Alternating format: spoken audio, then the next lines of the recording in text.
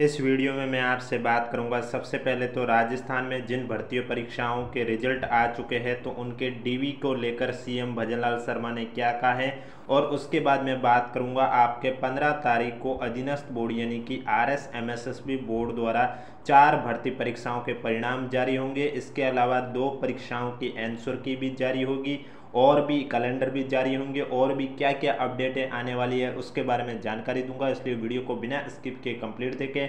Video पसंद आए तो वीडियो को लाइक करें चैनल ज़रूर सब्सक्राइब करें, क्योंकि आपको इस यूट्यूब चैनल पर राजस्थान एग्ज़ाम से जुड़ी पल पल की अपडेट दी जाएगी, चाहे वो फिर अधीनस्थ बोर्ड की हो या फिर आरपीएससी द्वारा आयोजित की गई परीक्षा की हो।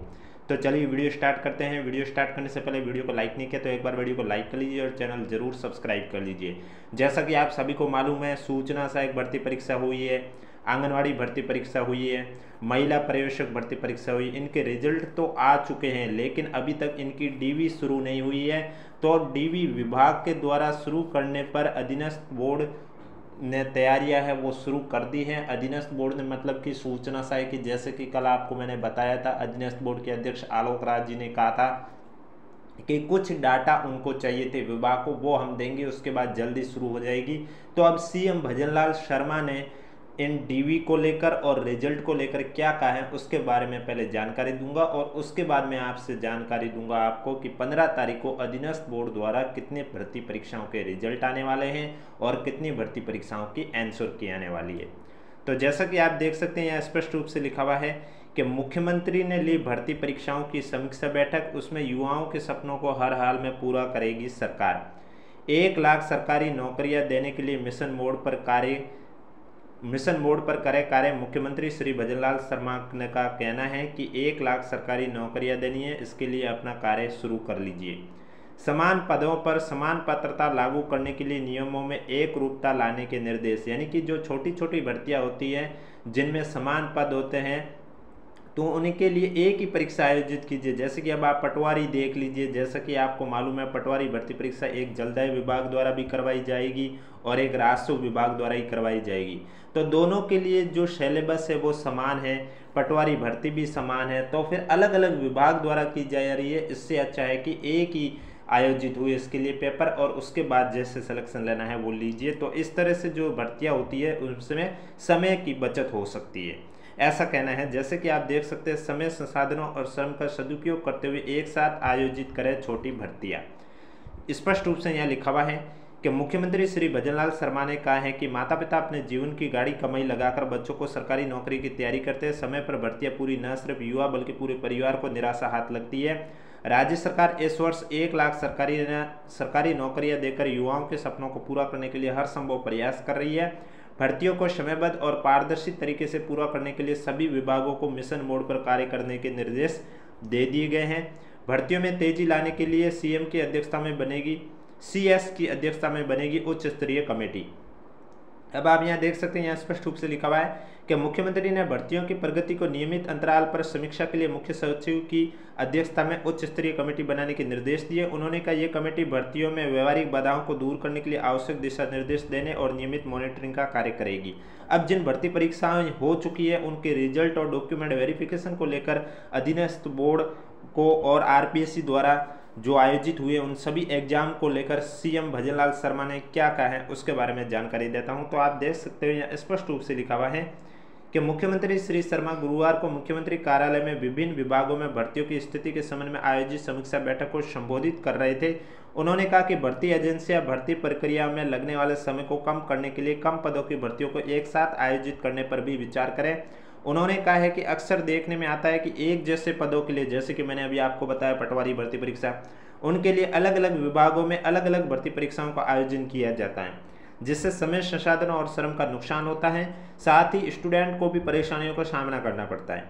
उन्होंने इसे देखते हुए समान पदों के लिए समान पात्रता लागू करने के लिए नियमों में सरलीकरण और एक रूपता लाने के लिए निर्देश दिए, यानी कि इन्होंने कहा कि अलग अलग डिपार्टमेंट से एक ही भर्ती आ रही है तो उन सबका एक ही परीक्षा आयोजित किया जाए। ऐसा नहीं कि अलग अलग किया जाए। आगे शर्मा ने कहा है कि जिन भर्तियों की परीक्षा आयोजित हो चुकी है, उनके परिणाम जारी करने और दस्तावेज़ सत्यापन का कार्य विभागों के स्तर पर त्वरित गति से किया जाए। यानी कि जिन भर्ती परीक्षाएँ आयोजित हो चुकी है तो उनका रिज़ल्ट भी जल्दी जारी किया जाए। रिज़ल्ट बोर्ड द्वारा जारी किया जाता है, अधीनस्थ बोर्ड या आरपीएससी द्वारा जारी किया जाता है। और दस्तावेज़ सत्यापन का कार्य जो विभाग द्वारा है, वो जल्द से जल्द किया जाए। उन्होंने विभिन्न कारणों से न्यायालय में लंबित भर्ती प्रकरणों में विभागों की ओर से प्रभावी पैरवी किए जाने के निर्देश दिए ताकि इन प्रकरणों का समय पर निस्तारण हो सके। जो न्यायालय में लंबित भर्तियाँ, जैसे कि आप देख सकते हो, सूचना सहायक भर्ती परीक्षा का जो रोक लगी है फाइनल रिज़ल्ट पर, उस पर अब फैसला आएगा चौदह तारीख को। इसी तरह जूनियर अकाउंटेंट भर्ती परीक्षा पर भी रोक लगी है फाइनल रिज़ल्ट को लेकर उसका भी जो रिपोर्ट आएगी, वापस पाँच नवंबर को वापस से फिर सुनवाई होगी। तो इन पर जो मतलब रोक लगी है, इन्हें रोक को जल्दी हटाए और इन भर्तियों को जल्दी कंप्लीट कीजिए, ऐसा सीएम भजनलाल शर्मा का कहना है। अब मैं आपसे बात करूँगा, जैसा कि आपको मालूम है, महिला आंगनवाड़ी भर्ती परीक्षा का रिज़ल्ट आ चुका है, लेकिन अभी तक डीवी नहीं हुई है। महिला प्रवेशक भर्ती परीक्षा। तो इन दोनों का भी डीवी विभाग द्वारा किया जाएगा और भजनलाल शर्मा का तो कहना यही है कि दस्तावेज़ सत्यापन का जो कार्य है, वो विभाग अपने स्तर पर जल्दी करवाएँ, ताकि भर्ती परीक्षाएँ हैं, वो जल्दी कंप्लीट हो सके। अब आपके जो पंद्रह तारीख को है, वो कौन कौन सी चार भर्ती परीक्षाओं के रिज़ल्ट आने वाले हैं, उसके बारे में जानकारी देने जा रहा हूँ। और आंसर की, जैसा कि आप सभी ने देखा ही होगा, दस तारीख को अधीनस्थ बोर्ड के अध्यक्ष आलोक राज़ी ने ट्वीट के माध्यम से बताया था कि रीट लेवल टू के एक या दो रिज़ल्ट पंद्रह अक्टूबर को जारी करने का प्रयास है। यानी कि जो चार परिणाम है, उनमें से दो तो आपके रीट लेवल टू के जारी होंगे। पंद्रह तारीख को रीट लेवल टू के परिणाम जारी किए जाएँगे। इसके अलावा और कौन सा परिणाम जारी होगा?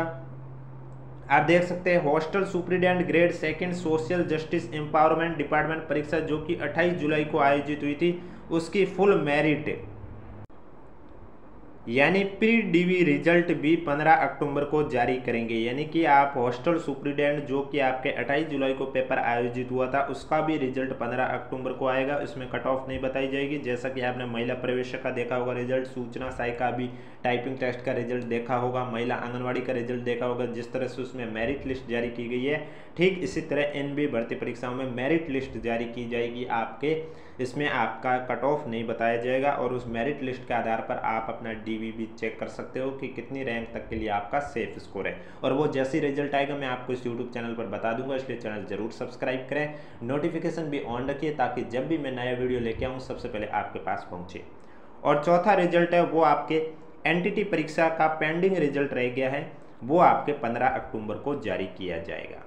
कब किया जाएगा जारी? पंद्रह अक्टूबर को। अब आंसर की और भर्ती परीक्षाओं को कैलेंडर की बात करें तो भर्ती परीक्षाओं का जो कैलेंडर था, वो भी आपके 14 या 15 अक्टूबर को जारी किया जाएगा, जिसमें आपके अधीनस्थ बोर्ड द्वारा दिसंबर 2025 तक जितने भी पेपर आयोजित करवाए जाएँगे, उन सब की डेट दे रखी होगी। अब रीट, जैसे कि आप सभी को मालूम है, पात्रता का आपने देखा ही होगा, जनवरी के दूसरे पखवाड़े में आयोजित की जाएगी।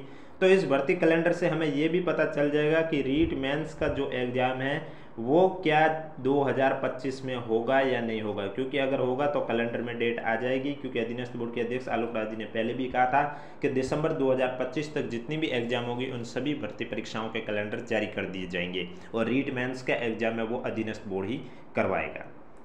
आंसर की कौन कौन सी भर्ती परीक्षाओं की पंद्रह तारीख को जारी होगी तो इस पर आप देख सकते हैं, यहाँ स्पष्ट रूप से लिखा हुआ प्रवेशक महिला अधिकारिता परीक्षा, जो कि आपके सात सितंबर को आयोजित हुई थी इसकी प्रोविजनल आंसर की है, वो भी आपके 15 अक्टूबर को जारी होने की संभावना है, यानी कि 15 अक्टूबर को आंसर की जारी कर दी जाएगी। और इसके अलावा हॉस्टल सुप्रिटेंडेंट माइनॉरिटी डिपार्टमेंट जो कि आपको मालूम है सीबीटी बेस पर एग्ज़ाम आयोजित हुआ था 30 अगस्त को, इसकी भी जो आंसर की है, वो 15 अक्टूबर को जारी कर दी जाएगी। अब और भर्ती परीक्षाएँ हैं और डीवी हैं, उनको लेकर भी मैं आपको बता देता हूँ। जैसे कि आपको मालूम है सीईटी ग्रेजुएशन भर्ती परीक्षा, जिसका आयोजन हो चुका है। इसकी आंसर की आपके अक्टूबर के लास्ट वीक तक आने की संभावना है, ऐसा अधीनस्थ बोर्ड के अध्यक्ष आलोक राज़ी ने पहले भी बता दिया था। और दूसरी जो भर्ती परीक्षा आपकी स्टेनो हुई है तो स्टेनो की तो फ़िलहाल नवंबर में यह आंसर की आएगी, क्योंकि स्टेनो से पहले आपके सीईटी ग्रेजुएशन की हुई है, उसकी भी आंसर की आपके अक्टूबर के लास्ट वीक तक आ रही है तो स्टेनो की तो फिर नवंबर में ही आने की संभावना है।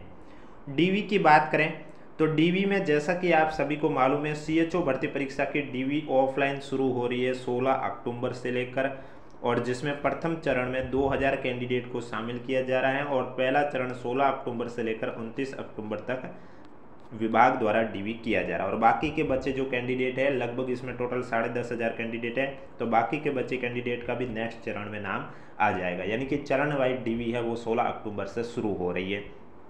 आंगनवाड़ी और महिला प्रवेशक इन दोनों भर्ती परीक्षाओं के डीवी को लेकर अभी तक तो कोई अपडेट नहीं आई है। सूचना सहायक भर्ती परीक्षा की बात करें तो आपको पहले भी बता दिया था, कल भी मैंने बताया था कि सूचना सहायक भर्ती परीक्षा में विभाग को कुछ सूचनाएँ चाहिए जो कि बोर्ड जल्दी सौंप देगी और उसके बाद विभाग है वो डॉक्यूमेंट वेरिफिकेशन को लेकर सूचना जारी कर देगा और इसके लिए स्क्रूटनी फॉर्म अब जल्द ही आपके अधीनस्थ बोर्ड द्वारा एस एस के माध्यम से फिल करवा दिए जाएँगे। और जैसे ही आपका लिंक एक्टिव होगा, मैं आपको इस यूट्यूब चैनल पर बता दूँगा स्टेप बाय स्टेप प्रोसेस करके कि किस तरह से आपको अपने स्क्रूटनी फॉर्म में डॉक्यूमेंट अपलोड करने हैं। इसके अलावा जो आपके भर्ती परीक्षा हो चुकी है, जिनका डीवी जैसे कि आपको मालूम है, संगणक भर्ती परीक्षा का डीवी कंप्लीट हो चुका है एग्रीकल्चर सुपरवाइजर का डीवी भी कंप्लीट हो चुका है। तो इनकी अभी तक बोर्ड को रिपोर्ट वापस नहीं सौंपी गई है। जैसे ही बोर्ड को रिपोर्ट सौंप दी जाएगी, आपका फाइनल रिज़ल्ट भी है, वो जारी कर दिया जाएगा। जीएनएम की भी डीवी हो चुकी है, लेकिन अभी तक इसकी भी रिपोर्ट नहीं आई है। एएनएम की डीवी अभी तक शुरू नहीं हुई है, अभी सीएचओ की चल रही है। उसके बाद देखते हैं, विभाग द्वारा एएनएम को लेकर भी अपडेट आते ही आपको बता दिया जाएगा। और जूनियर अकाउंटेंट भर्ती परीक्षा की बात करें तो इसकी डीवी जैसा कि आप सभी को मालूम है 25 अक्टूबर को कंप्लीट हो जाएगी और 5 नवंबर को कोर्ट का क्या फैसला आता है, उस पर ही डिपेंड करता है कि फाइनल रिज़ल्ट आपका कब तक आएगा। तो ये थे आपके भर्ती परीक्षाओं से जुड़ी रिज़ल्ट और डीवी से रिलेटेड अपडेट वीडियो पसंद आए तो वीडियो को लाइक करें चैनल ज़रूर सब्सक्राइब करें, क्योंकि आपको इस यूट्यूब चैनल पर इसी तरह राजस्थान एग्ज़ाम से जुड़ी पल पल की अपडेट देखने को मिलेगी।